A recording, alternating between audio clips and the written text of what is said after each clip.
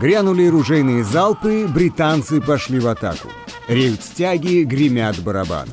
На холмах в поместье Маунт-Вернон, резиденции первого американского президента Джорджа Вашингтона, разворачивается историческая реконструкция одного из сражений Американской революционной войны. Так в литературе нередко называют войну за независимость Соединенных Штатов 1775-1783 годов. Континентальный конгресс уже выступил за вооруженное сопротивление Англии и заговорили пушки. Затишье после боя. Войска стали на холмах двумя враждебными лагерями, и жизнь в них идет по заведенному порядку. Попытаюсь чуть подтянуть здесь. Ослаблю крепление. Кто-то отдыхает в тени деревьев. Офицер покуривает трубку. Но караулы не снимают. Гессенские гвардейцы-наемники оттачивают выполнение команд. Рядом, в долине, подразделения новобранцев шлифуют тактику боя и военные приемы. В лагере континентальной армии много беженцев, женщины, дети.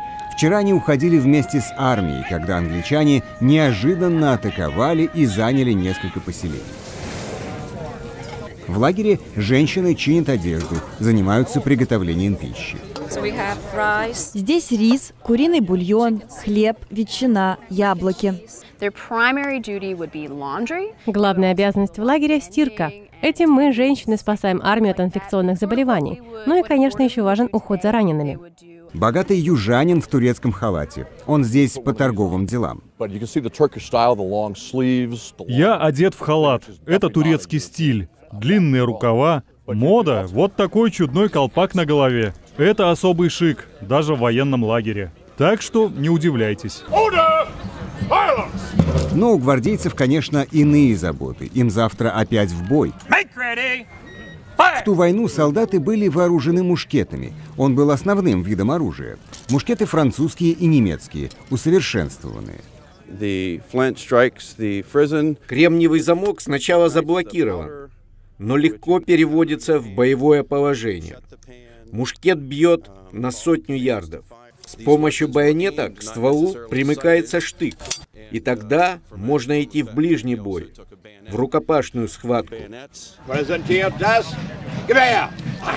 Кого считали лучшими солдатами, капитан гессенских гренадеров не сомневается. Гессенцы были лучшими в той кампании, ведь на учениях мы проводили по 6 часов в день, 6 дней в неделю. Да, мы были наемниками английской короны. Но после поражения англичан президент Вашингтон помиловал гессенцев. Многие из солдат немцев получили земельные наделы и навсегда остались в новой стране.